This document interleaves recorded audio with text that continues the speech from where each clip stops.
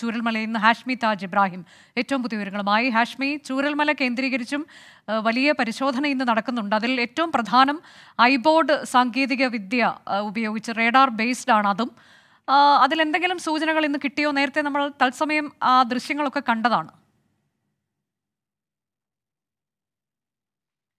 ചൂരൽമലയിലും ഇന്ന് പലതരത്തിൽ പല മേഖലകൾ തിരിച്ചൊക്കെയുള്ള പരിശോധനകൾ നടക്കുന്നു. അതിൽ ഏറ്റവും പ്രധാനം ഐബോർഡ് പരിശോധനയാണ്. അത് ജീവസാന്നിധ്യമുണ്ടോ മണ്ണിനടിയിൽ എന്നുള്ളതിന്റെ സിഗ്നൽ ലഭിക്കുന്ന പരിശോധനയാണ്. ആ സിഗ്നൽ ലഭിച്ചെടുത്ത് പിന്നീട് വ്യാപകമായ തെരച്ചിൽ നടത്തുക എന്നുള്ളതിലേക്കാണ്. ഇപ്പോൾ നമ്മൾ നേരത്തെ കണ്ടതുപോലെ തന്നെ ആർമിയുടെ റഡാർ സിഗ്നൽ ലഭിച്ച് അതിനോട് സമാനമായ രീതിയിൽ സാങ്കേതികവിദ്യയിൽ സാങ്കേതിക വിദ്യയിൽ കുറച്ച് വ്യത്യാസമുണ്ട് എന്നുള്ളതാണ്. പക്ഷേ ഐബോർഡ് എന്നുള്ളത് കൂടുതലായും സ്ഫോടനമൊക്കെ നടന്ന മേഖലകൾ അല്ലെങ്കിൽ യുദ്ധമുഖത്ത് അങ്ങനെയൊക്കെയുള്ള മൈനുകൾ കണ്ടെത്താനൊക്കെ ഉപയോഗിക്കുന്നതാണ്. ഈ തരത്തിലേക്ക് ഒരു ദുരന്തം ഉണ്ടാകുന്നിടത്ത് ആദ്യമായാണ്. അതിന്റെ ഫലം എങ്ങനെയാണ് എന്നുള്ളതൊന്നും നമുക്കിപ്പോൾ വ്യക്തമല്ല. എങ്കിൽ പോലും അങ്ങനെ ഒരു സാങ്കേതിക വിദ്യ കൂടി അവിടെ അവർ പരീക്ഷിക്കുന്നുണ്ട്. റിട്ടയർഡ് മേജർ ജനറൽ ഇന്ദ്രബാലന്റെ നേതൃത്വത്തിലാണ് ആ പരിശോധന അവിടെ നടക്കുന്നത്. അതിന്റെ തത്സമയ ദൃശ്യങ്ങൾ നേരത്തെ പ്രേക്ഷകർക്ക് നമ്മൾ കാണിച്ചിരുന്നു. ഹാഷ്മി താജ് ഇബ്രാഹിം ഉണ്ട് ഹാഷ്മി ഐബോർഡ് പരിശോധനയിൽ നിന്ന് എന്തെങ്കിലും സൂചനകൾ ലഭിച്ചിട്ടുണ്ടോ ചൂരൽമലയിൽ? അനുജ ഇതിലെ പ്രശ്നം നമ്മൾ ഷിരൂര് കണ്ടതുപോലെ ഷിരൂരിൽ ഹൈബോർഡിന്റെ പരിശോധന അത് ലോഹസാന്നിധ്യമാണ് എന്നുള്ള അല്ലെങ്കിൽ ലോഹസാന്നിധ്യമാണോ അല്ലയോ എന്നുള്ളതായിരുന്നു ഇവിടെ എന്താണ് ജീവ ലൈവ് മനുഷ്യ സാന്നിധ്യം അല്ലാത്തുള്ള മനുഷ്യ സാന്നിധ്യം ശരീരഭാഗങ്ങളുണ്ടെങ്കിൽ അത് അല്ലെങ്കിൽ ബോഡി പാർട്ട് ഉണ്ടെങ്കിൽ അത് അതൊക്കെ തിരിച്ചറിയാൻ കഴിയുന്ന സിഗ്നലുകളാണ് കിട്ടുക. പക്ഷേ അപ്പോൾ അതുകൊണ്ട് തന്നെ കിട്ടുന്ന സിഗ്നലുകൾ ഏത് തരത്തിലുള്ളതാണ് ഇവിടെ സിഗ്നലുകൾ കിട്ടുന്നുണ്ട്. അനുജ പക്ഷേ അത് ഏത് തരത്തിലുള്ളതാണ്? അത് അത് മനുഷ്യ ശരീരഭാഗങ്ങളാണോ? അതോ അതിൽ മറ്റേതെങ്കിലും സംഗതികളാണോ? എന്നുള്ള കാര്യം ഇപ്പോഴും അവർ സ്ഥിരീകരിച്ച് പറഞ്ഞെങ്കിൽ മാത്രമേ നമുക്ക് അറിയുള്ളൂ അവർ സിഗ്നൽ കിട്ടുന്നുള്ള കാര്യം പറയുന്നു. പക്ഷേ അതിനപ്പുറം എന്ത് സിഗ്നലാണത് എന്ന് പറയുന്നില്ല. പക്ഷേ സിഗ്നൽ കേന്ദ്രീകരിക്കുന്ന നേതാ ഷഫീദ് പറഞ്ഞ പോലെ മുണ്ടക്കൈ പോലെയുള്ള സ്ഥലങ്ങളിൽ സിഗ്നൽ കിട്ടിയ സ്ഥലങ്ങളിൽ ജെ സി ബി ഉപയോഗിച്ച പരിശോധന നടന്നു പക്ഷേ ഏതെങ്കിലും തരത്തിലുള്ള ഒരു ഒരു റിസൾട്ട് അതിൽ ഇതുവരെ ഉണ്ടാവുന്നില്ല എന്നുള്ളതാണ്. എന്തായാലും ചുരൽമല മേഖലയിൽ നേരത്തെ ഐബോർഡ് പരിശോധന ഉണ്ടായിരുന്നു. അനുജ നമ്മൾ ഇവിടെ രാവിലെ വരുമ്പോൾ ഇവിടെ നേരത്തെ വരുമ്പോൾ ഇവിടെ ഒരു വീട് കേന്ദ്രീകരിച്ച് നേരത്തെ ഉണ്ടായിരുന്ന ഒരു മൂന്നാൽ വീടുകൾ ഉണ്ടായിരുന്ന. വീടെന്ന് പറഞ്ഞാൽ ഇപ്പോൾ അവിടെ ഒന്നുമില്ല ഇപ്പം അവിടെ ചെളിക്കുഴി മാത്രമേ ഉള്ളൂ. അവിടുന്ന് വലിയ ദുർഗന്ധം വരുന്നുണ്ടായിരുന്നു. അപ്പോൾ ആ ദുർഗന്ധം നടന്ന സ്ഥലത്ത് ആഴത്തിൽ പരിശോധന കുറേ ഒരു ഒന്ന് രണ്ട് മണിക്കൂർ നടത്തി. എന്നിട്ടും കണ്ടെത്താൻ കഴിഞ്ഞില്ല. എന്നിട്ട് സ്നിഫർ ഡോഗൊക്കെ വന്ന് പരിശോധിച്ചിട്ടും ഒന്നും കണ്ടെത്താൻ കഴിഞ്ഞില്ല. അത് കഴിഞ്ഞും അവിടെ വലിയ ദുർ നമുക്കവിടെ നിൽക്കുമ്പോൾ അറിയാം വലിയ ദുർഗന്ധമുണ്ട്. അത് കഴിഞ്ഞ് ഇപ്പോൾ വീണ്ടും ആ, മേഖലയിൽ പരിശോധിക്കുന്നുണ്ട്. പക്ഷേ വലിയ മരക്കഷ്ണങ്ങളൊക്കെ വലിയ മരങ്ങൾ മരക്കഷ്ണമല്ല വലിയ മരങ്ങളൊക്കെ കടപുഴകി വന്ന് കിടക്കുന്നതല്ലാതെ ഏതെങ്കിലും തരത്തിലൊരു മനുഷ്യ സാന്നിധ്യം അവിടെ കണ്ടെത്താൻ കഴിയുന്നില്ല എന്നുള്ളതാണ് വസ്തുത. സത്യം പറഞ്ഞാൽ ഈ രണ്ട് ദിവസങ്ങൾ ഇന്നലെയും ഇന്നുമായി ഈ ചൂ ഈ- മുണ്ടക്കൈ ഈ മുണ്ടക്കൈ പുഞ്ചിരിമട്ട മേഖലകളിൽ ഇപ്പം ഒരു പരിധിവരെ ചൂരൽമല മേഖലയിലും കാര്യമായ റിക്കവറികളൊന്നും ഉണ്ടാവുന്നില്ല. ഇവിടെ പ്രദേശവാസികൾ പക്ഷേ ഈ മേഖലയിലേക്ക് ഒരുപാട് മിസ്സിംഗ് ആയ ആളുകളെ പറ്റി ഓരോ ദിവസവും പറയുന്നുണ്ടെങ്കിൽ കൂടിയും ഏതെങ്കിലും തരത്തിൽ റിക്കവറി ഉണ്ടാകുന്നില്ല. അതുകൊണ്ട് തന്നെ ഈ എന്തായാലും പുഞ്ചിരിമട്ട മുണ്ടക്കൈ മേഖലകളിലെ അവിടെ കൂടുതൽ അവിടെ കൂടുതൽ മൃതശരീരങ്ങൾ ഉണ്ടാവില്ല എന്ന നിഗമനത്തിലേക്ക് എത്തുകയാണ് ദൗത്യ സംഘം. പക്ഷേ അപ്പോഴും അത് ഒഫീഷ്യലി അവസാനിപ്പിച്ചു എന്ന് പറയാനായിട്ടില്ല അങ്ങനെയുള്ള ആലോചനയുമില്ല. പക്ഷേ ഇന്നിപ്പോൾ ചൂരൽമല കേന്ദ്രീകരിച്ചും ചാലിയാർ പുഴയോരം കേന്ദ്രീകരിച്ചും കൂടുതൽ പരിശോധന ഇനി വരും ദിവസങ്ങളിൽ വ്യാപിപ്പിക്കാനാണ് അല്ലെങ്കിൽ കൂടുതൽ ശക്തമാക്കാനാണ് ആലോചന.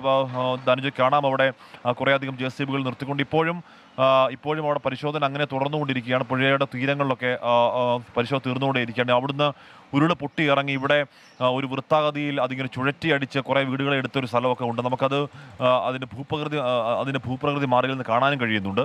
അപ്പോൾ ആ മേഖലയിലൊക്കെ ആഴത്തിൽ എന്ന് പറഞ്ഞാൽ വളരെ ആഴത്തിൽ ഇനി മൃതശരീരങ്ങളുണ്ടോ. ഇത് എവിടെ ഇപ്പോൾ നമുക്ക് എത്ര അടി ഉയരത്തിലാണ് മണ്ണെന്നറിയാൻ കഴിയുന്നത് അതുകൊണ്ടാണ് റവന്യൂ മന്ത്രി കെ രാജൻ രാവിലെ പറഞ്ഞത് നേരത്തെയുള്ള അല്ലെങ്കിൽ ഭൂകമ്പം ഉണ്ടാകുന്നതിന് മുമ്പ് ഈ മണ്ണിന്റെ അല്ലെങ്കിൽ ഈ തറയുടെ ഉയരം എത്രയാണ് ഇപ്പോൾ ആ ഉയരം എത്രയാണ് എന്ന കണക്കെടുത്തുകൊണ്ട് കൂടുതൽ മണ്ണുള്ള ഭാഗങ്ങളിൽ ആഴത്തിൽ കേന്ദ്രീകരിച്ചൊരു പരിശോധന. എന്ന് രാവിലെ പറഞ്ഞിരുന്നു. എങ്കിൽ കൂടിയും എത്രത്തോളം മൃതദേഹങ്ങൾ എന്ന് പറഞ്ഞാൽ അനുജ ഇപ്പോൾ ഒന്നോ രണ്ടോ അല്ലെങ്കിൽ അഞ്ചോ പത്തോ ഒക്കെ ആണെങ്കിൽ പറയാം. ഇത് അങ്ങനെയല്ല കാണാനുള്ളത് ഇരുന്നൂറിന് അധികമെന്നാണ് പറയുന്നത്. സർക്കാർ കണക്ക് ഇരുന്നൂറിനും ഇരുന്നൂറ്റി പത്തിനും ഇടയ്ക്ക് എന്തെങ്കിലും നിൽക്കുമ്പോൾ പ്രദേശവാസികൾ മുന്നൂറുമല്ല അതിനൊക്കെ അപ്പുറമാണ് കണക്കുകൾ പറയുന്നത്. അപ്പോൾ ഒരുപാട് പേരെ മിസ്സിംഗ് ആണ് ഒരുപാട് പേരെ കാണാനില്ല. അവരെവിടെയാണ് എന്നൊരു ഒരു പ്രധാനപ്പെട്ട ചോദ്യം അവരുടെ ബന്ധുക്കൾക്ക്. എന്ന് പറഞ്ഞാൽ മരിച്ചവർ ഈ മൃതശരീരം കിട്ടിയവർ അവരുടെ സംസ്കാര ചടങ്ങുകളൊക്കെ നടത്തിയ ആ രീതിയിൽ ആ രീതിയിലെങ്കിലും ഒരു ദുരന്തമോ താശ്വസിക്കൽ എന്ന വാക്ക് നടക്കില്ലെങ്കിൽ കൂടി ആ രീതിയിലെങ്കിലും ഒന്ന് സമാധാനപ്പെടാൻ കഴിയുന്നുണ്ട് ബന്ധുക്കൾക്ക്. പക്ഷേ ഇപ്പോഴും മിസ്സിംഗ് ആയ ആളുകൾക്ക് കുഞ്ഞുങ്ങളുടെ അല്ലെങ്കിൽ കുട്ടികളുടെ ഒക്കെ അച്ഛന്മാർക്കും അമ്മമാർക്കും ഒക്കെ ഇവരെവിടെ പോയി എന്നുള്ള വലിയ ആദ്യ ഒരു ഒരു നെഞ്ചിലെ തീ അണയണമെങ്കിൽ എന്തെങ്കിലും ഒരു തീരുമാനം എസ് ഓർണോ അല്ലെങ്കിൽ ജീവനോടെ ഉണ്ട് അല്ലെങ്കിൽ ഇല്ല എന്നൊരു തീരുമാനം അവർ കിട്ടേണ്ടതുണ്ട്. ആ ആ മറുപടി അവരുടെ ജീവിതത്തിലെ പ്രധാനപ്പെട്ട മറുപടിയാണ്. ആ മറുപടി കൊടുക്കാൻ നമ്മൾ ബാധ്യസ്ഥമാണ്. അതുകൊണ്ട് തന്നെ ഈ രക്ഷാദൗത്യം ഏതെങ്കിലും തരത്തിൽ അവസാനിപ്പിക്കുന്നതിനെ കുറിച്ച് ആലോചിക്കാൻ ഇപ്പോൾ കഴിയില്ല. എന്ന് പറഞ്ഞാൽ ഈ മിസ്സിംഗ് കണക്കുകൾ ഏതെങ്കിലും തരത്തിൽ ഒരു ക്ലാരിറ്റി വരുമ്പോൾ നമുക്കറിയാം ഒരു മഹാദുരന്ത മുഖത്ത് എല്ലാ മിസ്സിംഗ് കണക്കുകളൊക്കെയും അല്ലെങ്കിൽ മിസ്സിംഗ് ആളുകളെ ഒക്കെയും എല്ലാവരെയും കിട്ടുക എന്നൊരു ചിലപ്പോൾ പ്രാക്ടിക്കൽ ഇപ്പോൾ പുത്തുമലയിൽ പോലും അഞ്ചോ ആറോ പേരെ ഇപ്പോഴും മിസ്സിംഗ് ആണ്. അപ്പോൾ എങ്കിൽ കൂടി പരമാവധി ഇരുന്നൂറ് മുന്നൂറ് എന്ന കണക്ക് അത് അംഗീകരിക്കാൻ കഴിയുന്ന കണക്കല്ല. അതിനെ അങ്ങനെ അൺആൻസൈഡായിട്ട് വിടാനും കഴിയില്ല. ഇപ്പോൾ ഇപ്പോൾ ഇവിടെ ഇപ്പോൾ ഇവിടെ നടക്കുന്നത് ഐബോർഡ് ഉപയോഗിച്ചുള്ള പരിശോധന. അല്പസമയം ഞാൻ നേരത്തെ പറഞ്ഞ മേഖലയിൽ ഐബോർഡ് ഉപയോഗിച്ചുള്ള പരിശോധന നടക്കും. നേരത്തെ അവിടെ പരിശോധന നടത്തുമ്പോൾ നമ്മുടെ ഈ ഈ കൊലുസ് എന്ന് പറയില്ലേ പാദസരം എന്ന് പറയുന്ന കുഞ്ഞുങ്ങളുടെ കണ്ടാലറിയാം കുഞ്ഞുങ്ങളുടെയാണ് ഒരു ഒരാഭരണം ഒരാൾ തന്നെ അവിടുന്ന് കിട്ടിയ എടുത്ത് കാണിച്ചിരുന്നു അനുജ. വലിയ വലിയ സങ്കടമുണ്ട്. ആ കൊലുസിന്റെ ആൾ ആ, കൊലുസിന്റെ ഉടമയായ കുഞ്ഞ് ഉണ്ടോ ഇല്ലയോ എന്നൊന്നും നമുക്കറിയില്ല. അതുമാത്രമല്ല അത് മാത്രമല്ല വേറെ ചില പ്രശ്നങ്ങൾ ഉണ്ടാകുന്നു. ഇപ്പോൾ ഇന്ന് രാവിലെ ഇങ്ങോട്ടേക്ക് വരുമ്പോൾ ഒരാൾ വിളിച്ചിരുന്നു. അയാളുടെ കൊച്ച അയാളുടെ ചിറ്റപ്പന്റെ പേര് രാജൻ എന്നാണ്.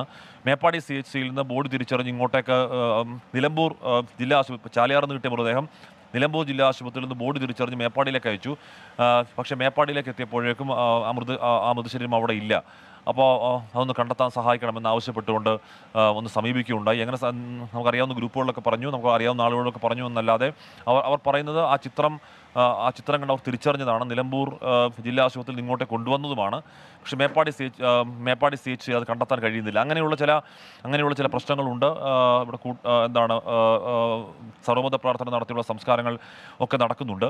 അനുജ ഇനിയിപ്പോൾ ഇതിപ്പോൾ ആറാം ദിവസമാണ്. ഏഴ് എട്ട് ഒമ്പത് ദിവസങ്ങൾ എന്ന് പറഞ്ഞാൽ ഇവിടെ പല സ്ഥലങ്ങളിലും വലിയ ദുർഗന്ധം നമുക്ക് അനുഭവപ്പെടുന്നുണ്ട്. ആ ദുർഗന്ധമുള്ള മേഖലകൾ കേന്ദ്രീകരിച്ചാണ് പരിശോധന. നേരത്തെ മുണ്ടക്കയിൽ പോയി ഇറങ്ങിയ രക്ഷാദൗത്യ പ്രവർത്തകൻ പറഞ്ഞത് അവിടെ ഒരിടത്ത് വലിയ ദുർഗന്ധം അവിടെ പരിശോധിക്കുമ്പോൾ അവിടെ എന്താണ് നാളെ നടക്കാനിരിക്കുന്ന ഒരു കല്യാണത്തിന്റെ കല്യാണക്കുറി അവർക്ക് കിട്ടി. എന്നിങ്ങനെ പറയുന്നു. അതിനൊരു പേര് ഉണ്ട്. പക്ഷേ അവിടെ എട്ട് എട്ടടിയോളം ഉയരത്തിൽ ചെളി കെട്ടിക്കിടക്കുകയാണ്. അപ്പോൾ ഏതെങ്കിലും തരത്തിൽ ആ, ആ, താഴത്തെ കാരിലും ഉണ്ടോ എന്ന പരിശോധന കണ്ടെത്താൻ കഴിഞ്ഞില്ല. പക്ഷേ അതിശക്തമായ ദുർഗന്ധം അവിടങ്ങളിൽ നിൽക്കുന്നു. പല സ്ഥലങ്ങളിലും അത്തരത്തിൽ ദുർഗന്ധത്തിന്റെ കാര്യം പറയുന്നുണ്ട്. അനുജ അപ്പോൾ ഇനിയിപ്പോൾ അപ്പോൾ ഇപ്പോൾ തന്നെ ഏറ്റവും ഒടുവിൽ ചാലിയാർ പുഴയിൽ കണ്ടെത്തുന്ന മൃതദേഹങ്ങളൊക്കെ അങ്ങേയറ്റം നമുക്ക് പുറത്ത് പറയാൻ പറ്റാത്ത പോലെ അങ്ങേയറ്റം ആറ് അഞ്ചും ആറും ദിവസങ്ങളാകുമ്പോൾ വെള്ളവുമാണ്. ഒക്കെ അറിയാമല്ലോ അപ്പോൾ നമ്മൾ മൊത്തത്തിൽ തെളിച്ചു പറയേണ്ട കാര്യമില്ല. ഇനിയിപ്പോൾ ആറ് ഏഴ് എട്ട് ദിവസങ്ങളിലേക്ക് പോകുമ്പോൾ കൂടുതൽ റിക്കവറി സങ്കീർണമാകുന്ന പശ്ചാത്തലമുണ്ട്. അപ്പോൾ അതിനു മുമ്പ് കൃത്യമായ ഒരു കണക്ക് ഒരു മിസ്സിംഗ് കണക്കിലെ ക്ലാരിറ്റി അതിപ്രധാനമാണ്. അതിനോടൊപ്പം തന്നെയാണ് അവർ ഇനിയിപ്പോൾ ഇതിനടുത്ത ഘട്ടം എന്നുള്ളത് വയനാടിനെ ചേർത്ത് പിടിക്കുക എന്നുള്ളതാണ് വയനാട് റീബിൽറ്റ് ചെയ്യുക എന്നുള്ളതാണ്. അതിനുവേണ്ടി കൂടിയും ഈ കണക്കുകൾ അതിപ്രധാനമാണ്. മിസ്സിംഗ് എന്ന് പറയുമ്പോൾ നമ്മുടെ നിലവിലെ നിയമപ്രകാരം മിസ്സിംഗ് എന്ന് പറയുന്ന ഒരാൾക്ക് സഹായം കൊടുക്കാനുള്ള ഒരു പ്രൊവിഷനില്ല. അതിന്റെ കാര്യത്തിൽ ചില ചില ദുരന്തങ്ങളിൽ ചില ഇളവുകൾ ഉണ്ടായിട്ടുണ്ടെങ്കിൽ കൂടിയും അല്ലെങ്കിൽ ആ ഇളവ് ഇവിടെ ഇവിടെയും അടിയന്തരമായി ഉണ്ടാവേണ്ട പശ്ചാത്തലം അതുണ്ടാക്കും അപ്പോൾ അപ്പോൾ ഈ കണക്കുകളിൽ ഒരു ഒരു കൃത്യമായ വ്യക്തത ഉണ്ടാവുക എന്നുള്ളതാണ് പ്രധാനം എന്തായാലും ആറാം നാളും ഇവിടെ രക്ഷാദൗത്യം വളരെ സജീവമായി തന്നെ വളരെ സജീവമായി തന്നെ പുരോഗമിക്കുന്നു. അതിനിടയിൽ ഉണ്ടായ ഒരു പ്രശ്നം ഞാൻ നേരത്തെ പറഞ്ഞിരുന്നു. ഭക്ഷണത്തിന്റെ പ്രശ്നം രക്ഷാപ്രവർത്തകർ പറയുന്നുണ്ട്. ഇന്നലെയൊക്കെ സന്നദ്ധ സംഘടനയുള്ള ഭക്ഷണം ഇവിടെ പുറത്ത് ഇവിടെ ഇവിടെ ഒരു ഒരു പള്ളിയിൽ പാചകം ചെയ്ത ഭക്ഷണം കൊണ്ടുവരുന്നുണ്ടായിരുന്നു. ഇപ്പോൾ അത് അത് വേണ്ട എന്ന് പറയുന്നു. അതേസമയം തന്നെ രക്ഷാപ്രവർത്തകർക്ക് ആവശ്യമായ ഭക്ഷണം എന്നാൽ ഭക്ഷണം എത്തുന്നില്ല എന്നൊരു ചോറൊക്കെ കൊണ്ടുവരുന്നുണ്ട്. പക്ഷേ ഇവർക്ക് ആവശ്യമായ ഭക്ഷണം ഇങ്ങോട്ടേക്ക് എത്തുന്നില്ല എന്നൊരു പരാതി ഇവർ നമ്മൾ വന്നപ്പോൾ മുതൽ പറയുന്നു. അതിന് പരിഹാരം ഉണ്ടാക്കണം നമ്മൾ കെ രാജനോടും നമ്മൾ മന്ത്രി പി രാജനോടൊക്കെ അക്കാര്യം സംസാരിച്ചിട്ടുണ്ട്. പരിഹാരം ഉണ്ടാക്കാം എന്നൊക്കെ അവർ പറയുന്നുണ്ട്. എന്തായാലും അതിൽ അടിയന്തരമായി പരിഹാരം ഉണ്ടാകണം. ഇല്ലെങ്കിൽ രാവിലെ മുതൽ രാവിലെ ആറ് മണി മുതലൊക്കെ കഠിനാധ്വാനം അങ്ങേയറ്റം കഠിനാധ്വാനം ചെയ്യുന്നവരാണ്. അവർക്ക് മതിയായ തോതിലുള്ള ഭക്ഷണം ഇങ്ങോട്ടേക്ക് എത്തിയ മതിയാവുകയുള്ള. വരും മണിക്കൂറുകളിൽ അതുണ്ടാകുമെന്നും പ്രതീക്ഷിക്കാം. അനുജ. അതാണ് വളരെ പ്രധാനപ്പെട്ട ഒരു കാര്യമാണത് ഭക്ഷണത്തിന്റെ കാര്യത്തിൽ ഇതുവരെയും അതിനൊരു പരിഹാരമായിട്ടില്ല എന്നതാണ്. തെരച്ചിലിന്റെ വിവരങ്ങൾ പറഞ്ഞാൽ മുണ്ടക്കായിൽ നിന്നുള്ള ഏറ്റവും പുതിയ വിവരങ്ങളാണ്. ഹാഷ്മി താജ് ഇബ്രാഹിം നൽകിയത്. അവിടെ ഐബോർഡ് സാങ്കേതിക വിദ്യ ഉപയോഗിച്ചുള്ള പരിശോധന ചില സിഗ്നലുകൾ ലഭിച്ചിട്ടുണ്ട്. പക്ഷേ ആശാവഹമായ ഒന്നും കണ്ടെത്താൻ കഴിഞ്ഞിട്ടില്ല എന്നുള്ളതാണ്. ഈ ഘട്ടത്തിൽ നമ്മൾ പറയുന്നത് നിർഭാഗ്യകരമാണ്. പക്ഷേ അതങ്ങനെ തന്നെയാണ് അതിന്റെ വസ്തുത എന്നുള്ളതാണ്. ആശാവഹം എന്ന് നമ്മൾ പറയുന്നത് മൃതദേഹമെങ്കിലും കണ്ടുകിട്ടാൻ കഴിയുക എന്നുള്ളത് വളരെ പ്രധാനപ്പെട്ട ഒരു കാര്യമാണ്. ഈ മേഖലകളിൽ വീടുകൾ ഉണ്ടായിരുന്ന ഇടങ്ങളാണ്. അപ്പോൾ അവിടെ മിസ്സിംഗ് ആയിട്ടുള്ള ആളുകളുണ്ട്. അവരുടെ മൃതശരീരം കിട്ടുക എന്നുള്ളത് പോലും വളരെ പ്രധാനപ്പെട്ട കാര്യമാണ്. അതുകൊണ്ടാണ് അങ്ങനെയുള്ള പരിശോധനകൾ അവിടെ നടക്കുന്നത്. അല്പസമയം മുൻപ് ഹാഷ്മിയ പരിശോധനയിൽ ലഭിക്കുന്നത് എന്താണ് എന്നതിന്റെ വിശദാംശങ്ങളൊക്കെ നൽകുന്നു.